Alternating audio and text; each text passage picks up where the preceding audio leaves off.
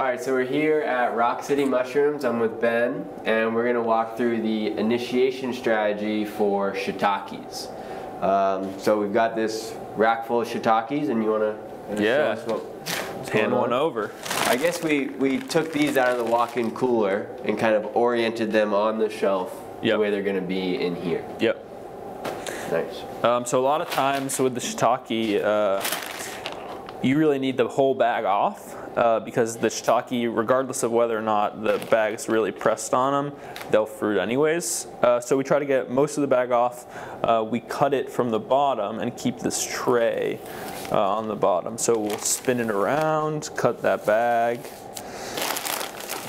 kind of connect to our old cut, and then just pull it up, and then pull the bag right off.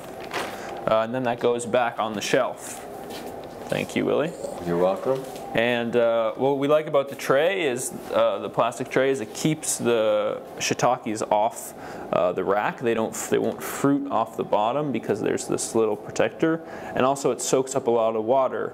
Uh, when we put them out, we'll rinse them off uh, with we just hose them down, and a lot of times you'll get a little extra water in the bottom, which is good because shiitake will dry out uh, as they incubate, um, and so that extra water will help with a, a better flush.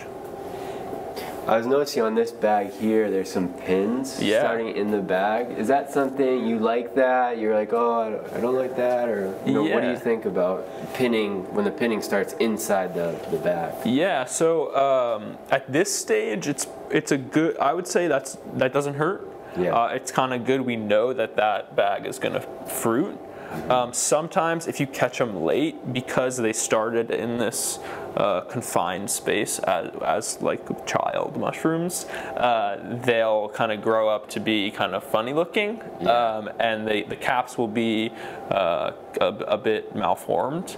Um, but at this stage, this is pretty good, and it's pretty typical to get um, to get some blocks that have um, uh, some pins on them. Yeah. So that'll just be treat that like Yeah. normal. Yeah, just cut it right up, and and you know sometimes uh, there'll be some fruits that will form in that bottom uh, tray, but that's okay. Yeah. And so this is maybe five or six days later. Yeah. These blocks with kind of I don't know, it's like fingernail height Yeah. of the of the pins. And do you try and like make do you spray them at all after that first initial time or just Um, at once? I think we should, it might help to spray them a little more, but typically we just spray them out when we set them out, and Yeah. for the most part, um, there's pretty consistent. It's been pretty good. Mm-hmm. Um, some pretty solid flushes off of them, probably around two pounds.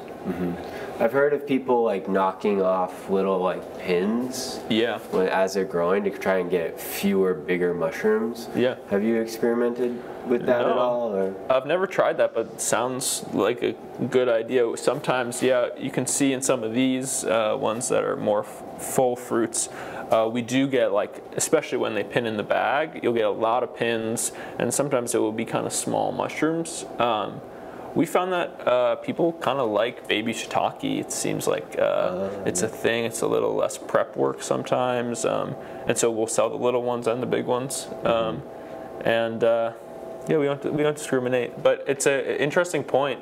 Um, yeah, to knock off the pins would kind of consolidate the energy Yeah. uh, into some big ones. But we Yeah. tend to sometimes the blocks won't pin fully. You know, we'll get like a pretty light pinning, and in that case, we'll get pretty big mushrooms. Um, so it all just kind of depends on the block. Cool? And these this is like a block that's basically ready to harvest Yeah. now. Like that seems like really full I mean this this like whole side Yeah, is it's like pretty sick. whoa. That's that's nice. Yeah. And you can see the gill so it seems like a ready Yeah, ready to go. harvest this whole thing.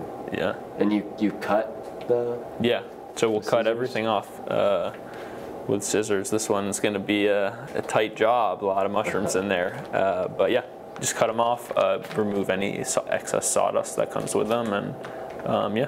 cool.